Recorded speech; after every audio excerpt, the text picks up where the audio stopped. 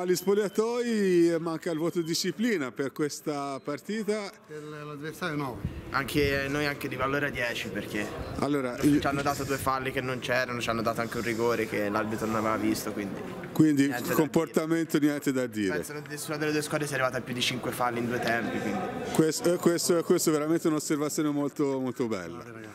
Eh? Bella partita. Quindi il voto, il voto 9, e, 9 e me 10, un po' di vabbè, arrotondiamo 10. Bene, bravi ragazzi, complimenti, buona doccia.